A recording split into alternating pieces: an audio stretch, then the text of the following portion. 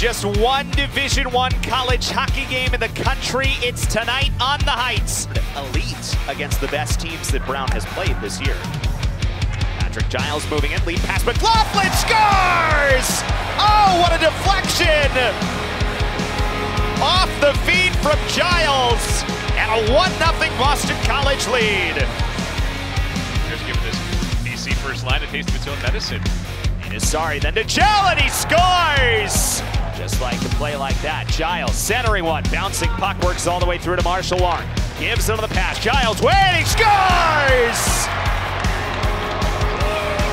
Got through traffic, and Patrick Giles gives Boston College the lead back to the one. Before Marshall Warren got to it and play it with Ellison.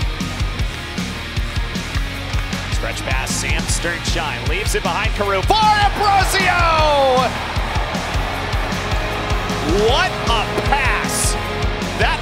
Sternshine first and then Carew to give the Eagles a 3-1 lead.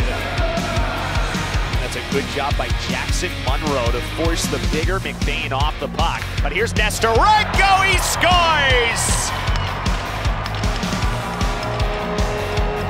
Nikita's got a big smile for the man who set him up as Brandon Kruse did it again, and it's 4-1 Boston College. Now Giles is without a stick for Boston College, trying to get to that puck, goes down to an E, kicks it to Kuntar. Good work, Patrick Giles, springing Marc McLaughlin, and he scores!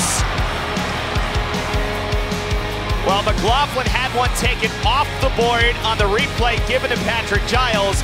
This one is McLaughlin's and Captain Clutch's alone, and it's the 30th of his career. Yeah, he got the he, punch off the, off the body. That, it still counts. Yep.